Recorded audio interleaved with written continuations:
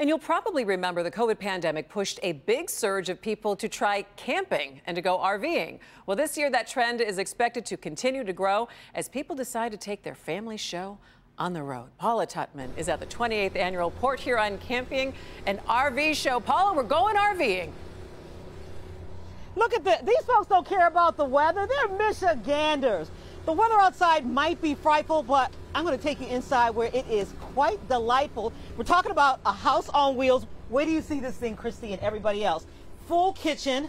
It's actually a one and a half bedroom, full bathroom. And if you are into this kind of thing, and a lot of people are really getting into this, wait till you hear what the price is. These aren't your granddaddy's wheels, but the nostalgia is there. Airstreams, with their nearly no maintenance and retro appeal, they look the same as they did decades ago, but inside, it's a whole different vibe. Pop outs that put road trips at the financial fingertips of more and more households. And of course, the tricked out fancy is this an apartment or an RV? Recreational vehicles. RVing is big business in Michigan.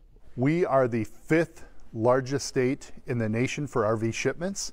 We have over 1,300 licensed campgrounds in Michigan. Joel Defoe popped in with his youngins and sees a real appeal to having a home-like setting on wheels. You got a TV? Even 10-year-old Ella could see how things transform. It has two legs instead of one.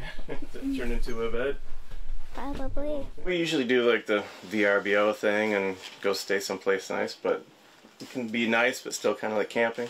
Turns out when much of everything else went by the wayside during the last three years of the pandemic, the virus was a reason for families and travelers to hit the road, Jack. So the office is now hitting the road too. RV sales and camping skyrocketed during the pandemic because it was one of the safest ways to still recreate and travel when you couldn't otherwise take a plane or go on a cruise ship. And in fact, manufacturers turned inwards, got creative, and offered not just the amenities of home, but the amenities of the office, like Wi Fi. You want to be able to stay connected, watch your favorite movie.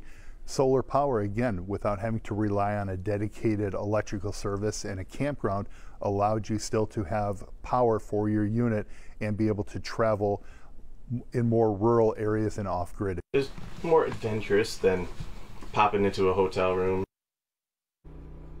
Way more adventurous than a hotel room. And if you just want to get your feet wet, you can also come to the show. It's open until Sunday and talk about renting. Christy, I just want you to look at this particular one. They've gone down from a V10 to a V8. It's so comfortable and so compact. Even my feet hit the pedals and I'm only five foot one. and by the way, this particular unit is called a leprechaun. Okay, yeah, no, they're not calling me a leprechaun. It's $50,000 off for the show. It is under a $100,000 something here for a lot of different budgets. This is really great, Paul. You know, my experience with camping was a, a, kind of a moldy smelling camper with an ant problem. So for me to see what looks like marble in the showers right? and four burners is blows me away. Listen, sister, I'm too old to sleep on the ground anymore. So if I'm going to go camping, I'm going to go glamping. That's right.